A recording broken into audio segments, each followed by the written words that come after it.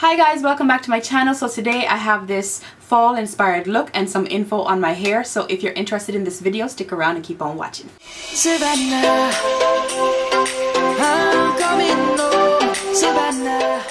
so first things first, my hair. I know, trust me, I feel the same way. Like I've never seen myself like this.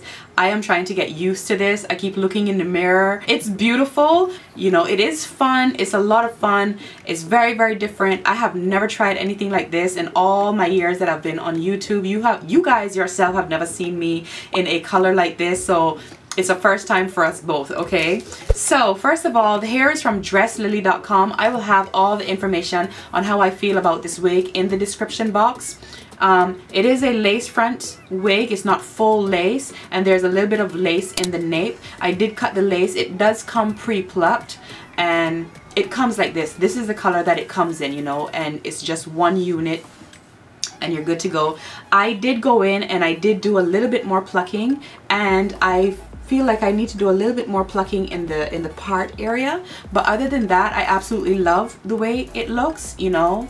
And I hardly did any plucking on the on the hairline like you know? And it is human hair. I've always wanted to try red hair. What better way to try than with a wig? So I was really really glad that Dress Lily reached out to me and they had this on their website. I just I just I went for it right away. I absolutely love it. You know if you want to try something definitely this is the way to go. Anyways in the description box i will have my full thoughts. You guys know that i don't i no longer do in-depth reviews on hair because I just have a, a, checklist of things that I look for in hair. And once I have tried out that hair and trust me you don't have to try it out for a long time to know exactly how it's going to hold up. You can tell right away if that hair is good hair or bad hair because bad hair will kick up a storm immediately okay? Especially if you made the wig and you put it on it will kick up a storm immediately. You don't have to wonder okay? You will know. Anyways you guys already know if it's good hair it's on my head. Go ahead and check out dresslily.com I will have the link and info and everything on this unit in the description box. So please make sure that you open that up. If you really want to know what I look for in here I always have a little checklist in the description box. So just open that up and you're good to go. Without further ado let's get right on into this makeup tutorial which was truly not planned to match this hair Okay, so I already did my brows off camera. So the next thing I'm going to do is go in and clean up under my brows. And I'm using the LA Girl Pro Concealer in Cool Tan and an angled synthetic brush. And I'm just going to go ahead and swipe this color right underneath that brow to make it nice and sharp. And then I'm going to start to just drag it down to blend it out. After that, taking my black Opal Concealer in Tan, I'm just going to swipe this all over my lid as well as my lower lash line. And then I'm going to go in with a fluffy synthetic brush to blend all of that out.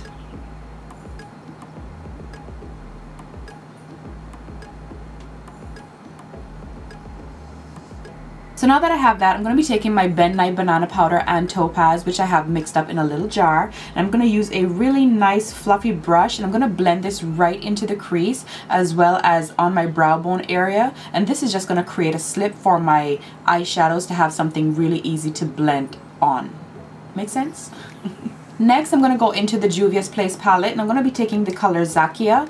I'm going to apply this right into my crease and a little bit above it. This is going to act as my transition color as well as my crease color because I don't want this look to be too heavy, seeing that my hair is very colorful. So I don't want to go heavy on the eyes, I'd rather stay light. So this is going to be like the only color that I apply into my crease and with the least amount of pressure on the brush I'm to start to feather out those edges and blend that area out. Okay after that I'm to take my LA Girl concealer, pro concealer in warm honey and I'm literally just to start to cut the crease with this and I'm using a flat synthetic brush to do so. Okay now that I have that I'm to be going into the color called Nubia and I'm using another flat synthetic brush to really help pack this on and first I'm just to press it in to make sure that I keep the line sharp so yeah just just okay.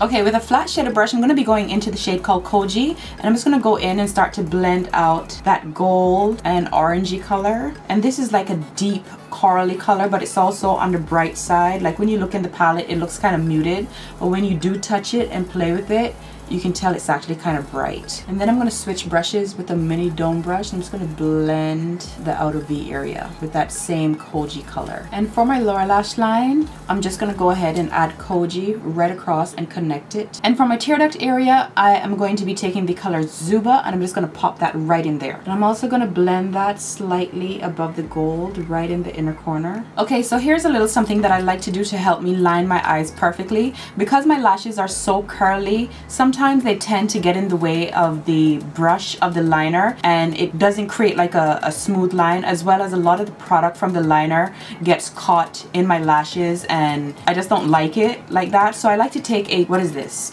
An eyelash curler, but it's like this type, like the clamping type, I don't know.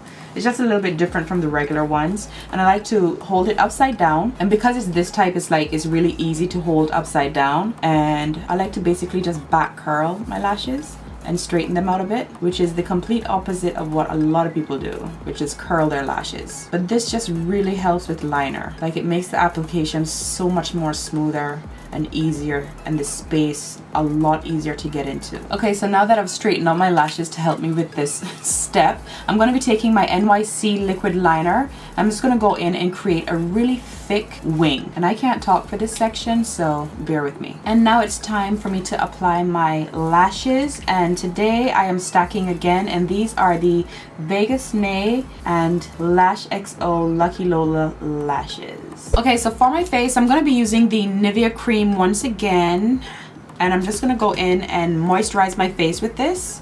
And for my primer today, I'm going to be using the Fenty Beauty Primer because I absolutely love this stuff. I love the way it makes my face and makeup and everything looks. It's really a good buy. I would definitely recommend the product, like no lie. I'm using it.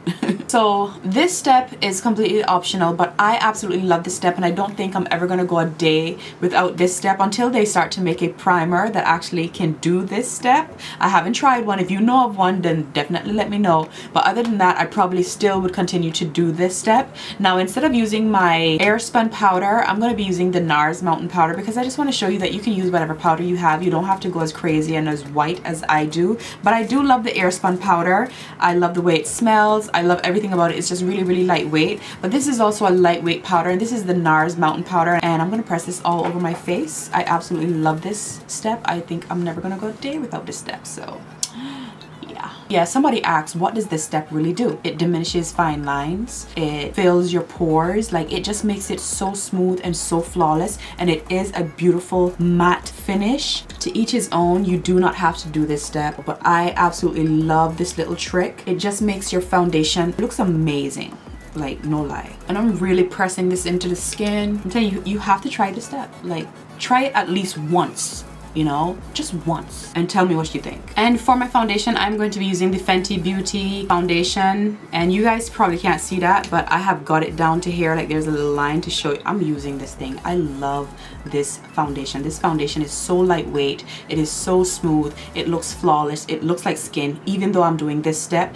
it just looks amazing. Even without this, because the first time that I did do this, I still didn't know of this trick yet. this is just a beautiful, beautiful foundation you have to shake it up. I just I need to get like a couple more shades to really try to find my shade. When I apply this I'm gonna look super super orange but don't worry. I've been working with it for a while and I make it work okay? And for my concealer my under eye highlight basically to highlight my face I'm to be using the Kat Von D Lock It Tattoo foundation and this is in the shade medium 57 and like I said this thing is just so thick. Like it's just ridiculously thick so basically all I'm going to do is apply this under my eyes, down my nose, center of my forehead, a little bit above my lip and my chin. You have to work with Kat Von D really fast. It's something that dries really, really quick and I don't know why I'm talking to you. I should be doing it because this thing plays no games. And just so you know, these red brushes and green brushes that you see me playing with today are by are from Juvia's Place, I should say. Now to set and bake my under eyes, as usual, I'm going to be using the Sasha Buttercup powder. And yeah, I'm just going to press this all over my face in the areas that I highlighted, basically. So to contour my face, I'm going to be using the L'Oreal Infallible Matte Pro Pro Matte Powder. I'm just gonna contour and warm up my face with this product and my jawline. Like never forget your jawline. To set my face and to bring everything together and to dust away this highlighting powder, I am going to be using the Laura Mercier Translucent Powder in Medium Deep. And to contour my nose, as usual, I'm going to be using the Milani powder in Caramel. And as usual, I'm going to be switching to a flat shader brush. And I'm just going to take some of that color on one side, some of the product, and just hug the corner of my nose and bring it around like so. But I just love the way that it makes my nose look like it's, there's, there's definitely a difference there. Okay, so for my blush today, I'm going to be using the Juvia's Place Saharan Blush Palette, and this is volume 2. And the color that I'm going to be taking is called Tau, and it's just this orangey color right over here.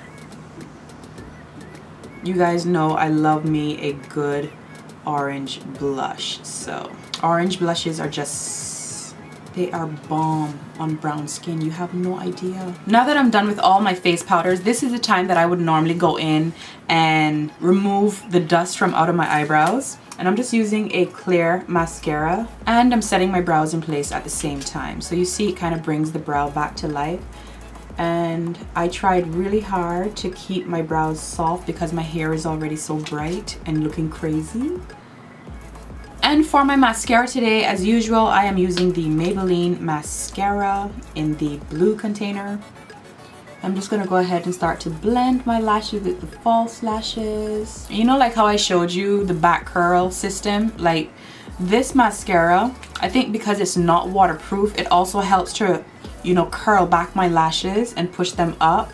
So it helps to revert them back to their original state. So they're just not pointing down and sticking out, you know? And don't forget your lower lash line. And I'm, I'm always in, like, I'm always blocking you guys when I do this step. Okay, so for my lips, playing with two lip colors today. One is by LA Splash and this one is called Till Midnight, okay?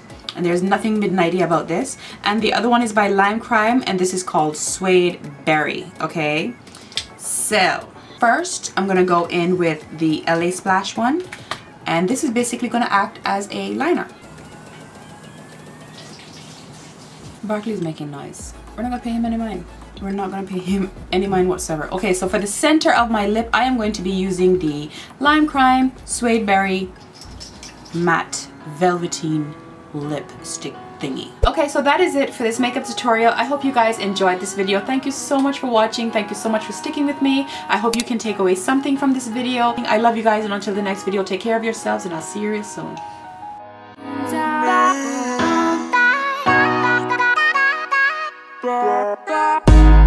Her like September She burns through the night like an ember And all those things we forgetting I remember But we say we all fine, we all fine. Sunny day dreams and we up now. Vodka lemonade, I serve it up, it goes down. 75 degrees in a dope sound. All you need to live fine, to live fine. A little sunshine cause she need it. A dose of rainfall in the evening. The waves crash down and we feel them. Say here's to the nights we steal them. And I'll be running cause I figured out slow down unless I get out. And if we fall, let's be strong now. Moving along, we don't mind, we don't mind.